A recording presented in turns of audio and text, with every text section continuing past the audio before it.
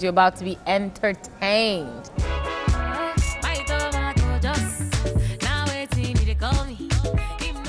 So Yemi, what have you been up to? I am about to release my fourth album and it's called Woman of Steel.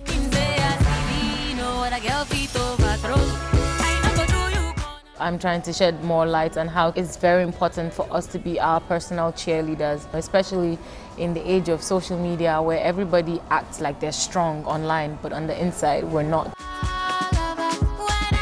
First of all, we already know that Rick Ross is already on the album. I see it as an opportunity for the young girls at home when they, when they turn on their TV and they see that it's possible, they begin to understand that anything that they put their mind to is possible.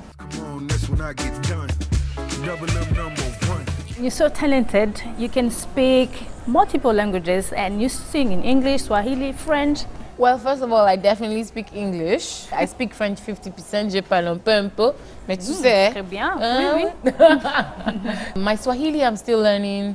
Portuguese, I'm really, really learning. But um, it turns out to be that when it comes to the music, I'm able to learn the music before I learn the words. So it's a work in progress. You come from a big family of seven, is Yes, that right? yes, And you're the fifth. Yes, I am. yes, I am. What sort of childhood did you have? Growing up, my dad was a commissioner of police, so he was very, very disciplined. And I never attended any birthday parties. He would lock the door and hide the key. He would always tell me, Go and read your book. Go and read your book. And so I did a lot of reading of books. As a kid born in an African family, I was supposed to be a doctor. a doctor. My mother was already calling me my doctor. You're always busy touring, you know, traveling everywhere.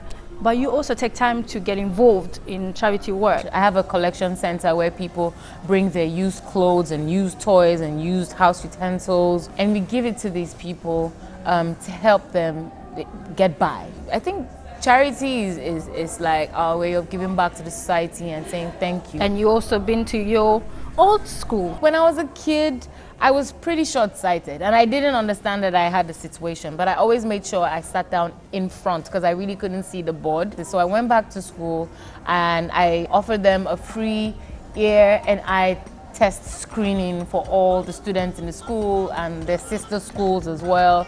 And we also gave about 100 free medicated glasses. It was fun. You know, education is also communication, so that was a two-way thing. A lot of people like to compare you to Tiwa Savage. Mm-hmm. What do you have to say to those people? we need to shed more light on on how well we are all working. I'm working fantastically well. She's doing extremely well. I think we need to welcome that into our conversations more than your comparison. the girlie hot like Recently, I was having an interview with another female artist, and she said something really interesting. She said it's difficult for women to be on top and stay on top in African music industry. It even gets more difficult because a lot of people don't want you to be there. A lot of people don't feel that you deserve it, but they forget that it is not by power or by might. It's by the grace of God. You need to walk like a guy, and when you've attained that, you need to walk more than a guy. Is Yemi Alade taken? Of course I'm taking. Ah, ah. how long do you want to be on the market? Just there. I'm taking.